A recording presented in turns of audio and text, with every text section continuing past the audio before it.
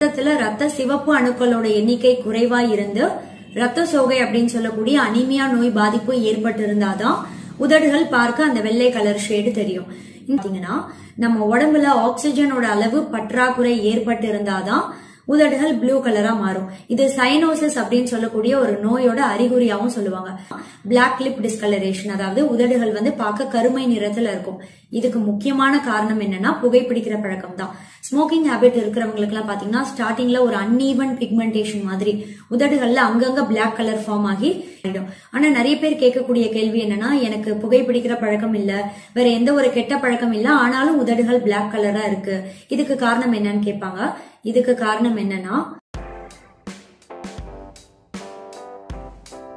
வணக்கம் நான் டாக்டர் மைதிலி. இன்னைக்கு நிகழ்ச்சியில நம்ம உதடுகள்ல ஏற்படக்கூடிய டிஸ்கலரேஷன் இந்த டிஸ்கலரேஷன் ஏற்பட காரணங்கள் என்னென்ன?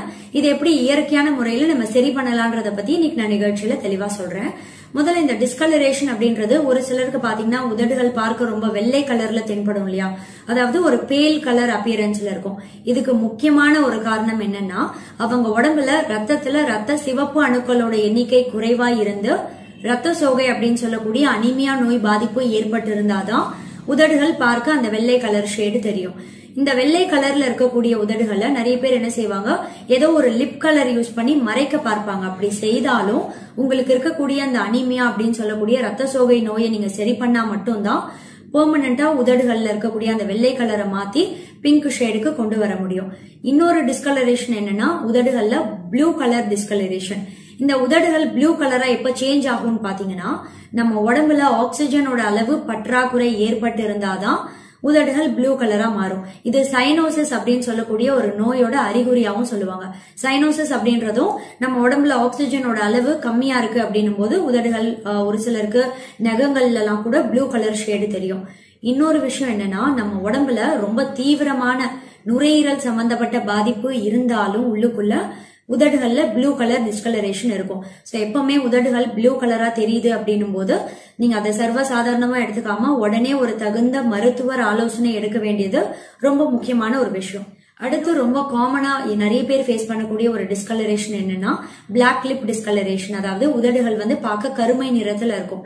இதுக்கு முக்கியமான காரணம் என்னன்னா புகைப்பிடிக்கிற பழக்கம் தான் ஸ்மோக்கிங் ஹேபிட் இருக்கிறவங்களுக்கு எல்லாம் பாத்தீங்கன்னா ஸ்டார்டிங்ல ஒரு அன்ஈவன் பிக்மெண்டேஷன் மாதிரி உதடுகள்ல அங்கங்க பிளாக் கலர் ஃபார்ம் ஆகி இதுவே தினமும் அவங்க புகைப்பிடிச்சிட்டே இருந்தாங்கன்னா நாளடைவுல உதடு முழுக்க பிளாக் கலரா மாறிடும். இதுக்கு காரணம் என்னன்னா புகைப்பிடிக்கும் போது அதுல இருக்கக்கூடிய நிக்கோட்டின் அப்படின்ற ஒண்ணு உங்க உதடுகளுக்கு போகக்கூடிய ரத்த ஓட்டத்தை வந்து தடுத்துரும். சரியான முறையில சீரான முறையில ரத்த ஓட்டம் போகாம தடுக்கும் போது இந்த உதடுகள் வந்து பிளாக் கலர் டிஸ்கலரேஷனா மாறிடும். ஆனா நிறைய பேர் கேட்கக்கூடிய கேள்வி என்னன்னா எனக்கு புகைப்பிடிக்கிற பழக்கம் இல்ல வேற எந்த ஒரு கெட்ட பழக்கம் இல்ல ஆனாலும் உதடுகள் பிளாக் கலரா இருக்கு. இதுக்கு காரணம் என்னன்னு கேட்பாங்க. இதுக்கு காரணம் என்னன்னா ஒரு நாளைக்கு தேவையான போதுமான தண்ணி நீங்க குடிக்கல லேக் ஆஃப் ஹைட்ரேஷன் இருந்தாலும் இந்த மாதிரி உதடுகள் பிளாக் கலரா மாறும்.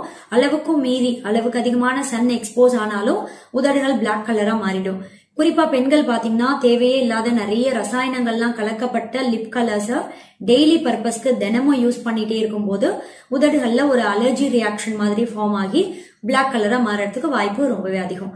இந்த பிளாக் லிப் டிஸ்கலரேஷன் இருக்கிறவங்க இதை எப்படி சரி பண்ணலாம்னு கேட்டீங்கன்னா ஒரு டீஸ்பூன் அளவு தேங்காய் எண்ணெய் ராத்திரி தூங்க போகும்போது கையில் எடுத்துக்கோங்க. இதை சூடு பண்ண வேண்டாம் அந்த எண்ணெயை. ஒரு டீஸ்பூன் அளவு எண்ணெயை கையில் எடுத்துட்டு உங்க ஒரு விரலால அதை தொட்டு உதடு முழுக்க நல்லா தேய்த்து மசாஜ் மாதிரி பண்ணிட்டு ஒரு நிமிடம் மசாஜ் பண்ணதுக்கு அப்புறம் நீங்க அப்படியே படுத்து தூங்கிடலாம். இந்த எண்ணெயை வந்து நீங்க வைப் பண்ண வேண்டாம் வாஷ் பண்ண வேண்டாம். அப்படியே படுத்து தூங்கும் போது இந்த தேங்காய் எண்ணெயில இருக்கக்கூடிய லாரிக் ஆசிட் அப்படின்ற ஒண்ணு இயற்கையான முறையில உங்க உதடுகள்ல இருக்கக்கூடிய பிளாக் டிஸ்கலரேஷனை மறைய செய்யும். இது வந்து நேச்சுரலா உங்க உதடை வந்து நல்லா பிரைட்டன் பண்றதுக்கு ரொம்ப ரொம்ப உதவியா இருக்கும்.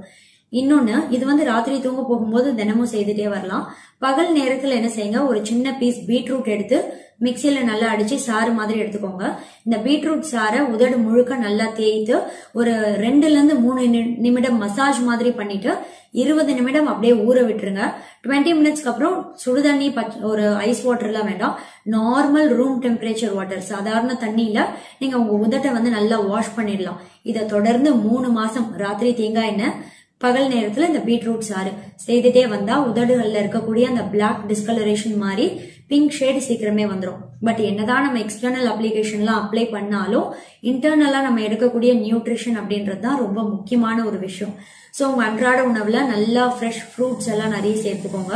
குறிப்பா தர்பூசணி பழம் மாதுளை பழம் இதெல்லாம் சேர்த்துக்கணும். தக்காளி கண்டிப்பா உங்க அன்றாட உணவுல சேர்க்கணும். பாதாம் பருப்பு ராத்திரியே தண்ணியில ஊற வச்சுட்டு காலையில தோல் நீக்கி நீங்க சாப்பிடலாம் வாதுமை கொட்டை அப்படின்னு சொல்லக்கூடிய வால்நட் இதையும் கண்டிப்பா உங்க அன்றாட உணவுல ஸ்நாக்ஸ் மாதிரி சாப்பிடலாம். இன்னொன்னு பீட்ரூட்டை வாரத்துக்கு ரெண்டு வாட்டியாவது உங்க மதிய உணவுல சேர்க்கணும். இதெல்லாம் நீங்க ஃபாலோ பண்ணிட்டே வந்தீங்கன்னா கண்டிப்பா உங்க உதடுகள்ல இருக்கக்கூடிய பிளாக் டிஸ்கலரேஷன் மாதிரி சீக்கிரமே பிங்க் ஷேட் வரும். ஆனா புகைப்பிடிக்கிற பழக்கம் இருக்கு அப்படின்னும் போது அதை நிறுத்தினாதான் இந்த பிளாக் டிஸ்கலரேஷன் கொஞ்சம் கொஞ்சமா சேஞ்ச் ஆகும். தேங்க்யூ